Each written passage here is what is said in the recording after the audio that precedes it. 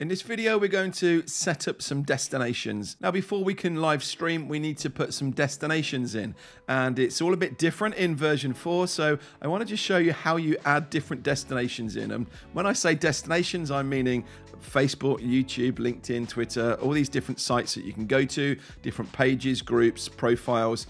So we put them all in here first. So in this video, we're going to set them all up. And then in the next video, I'm going to show you how to multi-stream and actually choose between these destinations. But I like to have them all in here in advance. So I'm not going to the live and going, oh, now I need to go and set that one up. Well, let's put all the options in here first, and then we can pick and choose later which ones we want to come back to. So how do we get into this?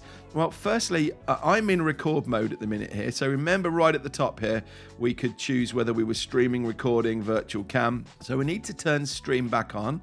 And you'll notice that because we haven't got any destination set up in here yet, there's a box at the bottom that says new. When I click it, it takes me in and it asks me about choosing the streaming platform for the first destination. And you see we've got some presets in here, Facebook, YouTube, Twitter, Instagram, Twitch, Amazon, Instagram, and RTMP keys. Uh, I'm not actually sure what's under there.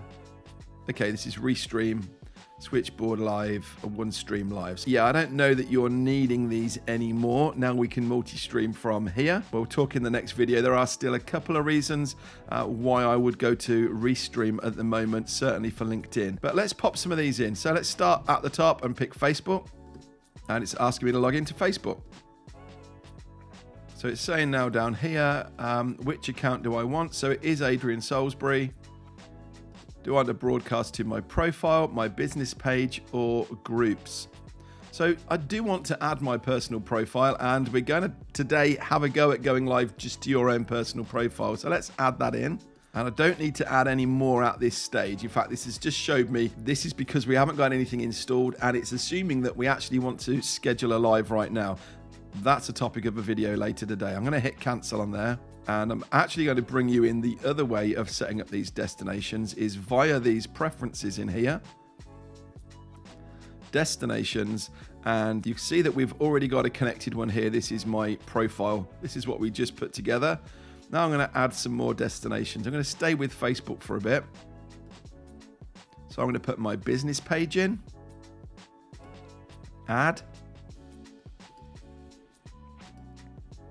And then groups. So groups linked to my business page uh, makes sense to me. So I've got my Adrian Salisbury training community.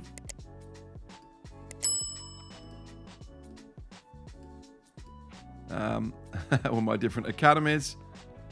I'm going to add my Pro Video Academy group. So you can see you can add any of the groups that you run as your business page. If I were looking at other groups, then this will basically show every group that I'm a member of who have got Ecamm installed. So there's a ton of options in here that I could go live into. So I'm going to stop at that point and notice that the symbols have changed. That's my profile, that's my page, and these are two different groups that I would want to go into. So let's keep going. My YouTube channel.